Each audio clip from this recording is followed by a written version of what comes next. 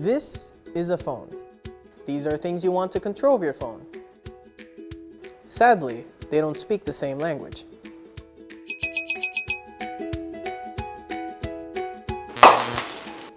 Enter the BLEduino. The BLEduino allows you to control any device with your phone or computer, letting you do some pretty cool things. Well, not that cool.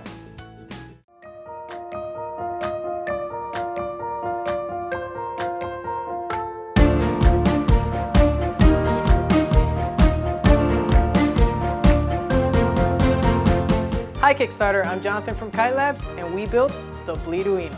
The BLEduino is a shrunken Arduino Leonardo with Bluetooth 4.0 built in. It's a sexy little board that is compatible with Arduino shields, past and present. Plug it into our shield shield and you have compatibility.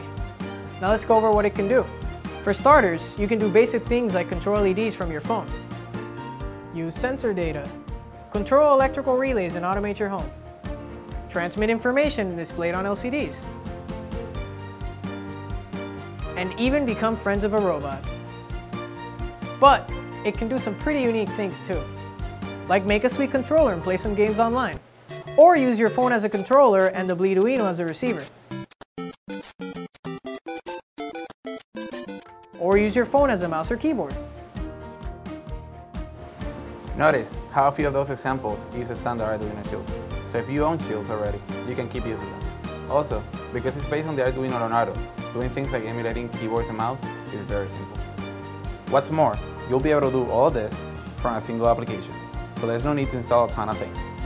And we're releasing the iOS application and the BLEduino as open source, so you're free to tinker away. We don't have an accelerator backing us up, but we really love one. That means we're running fully bootstrapped from our pocket. That has made prototyping difficult and at times a little frustrating, but that hasn't stopped us. We are currently testing and perfecting our final design, and that's where Kickstarter comes in. We need your help to put the BLEduino into production. Also, independent hardware development in Puerto Rico is basically non-existent. That means that by backing us, you are also helping kickstart the hardware community here.